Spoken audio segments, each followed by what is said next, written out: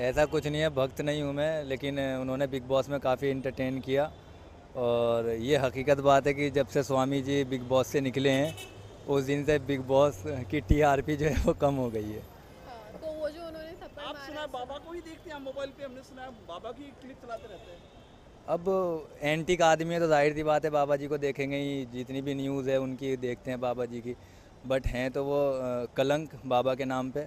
But फिर भी एक इंटरटेन के लिए उनको देखते सलमान हैं। बारे में बोला उसने थप्पड़ मार दिया दारू पी रखी तो सल, सलमान भाई अब उनसे हिसाब किताब करेंगे ना क्या है उनका और बाबा जी। है सच है या झूठ है? बाबा पूरा झूठ पे टिका हुआ है ना जितना भी फर्जी बाबा है क्यों वो। किया ऐसा? क्यों बोला मीडिया में टीआरपी के लिए।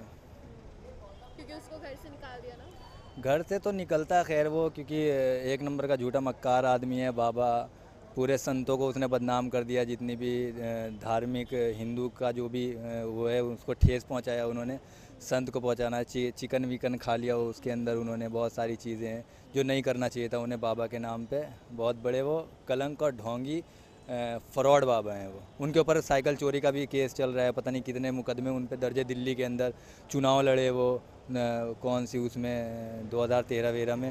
तो सारी चीज़ें छुपाई उन्होंने। अब बोलते हैं मैं सत्यवादी हरीश चंद हूँ, जबकि उसके अपोजिट हैं वो।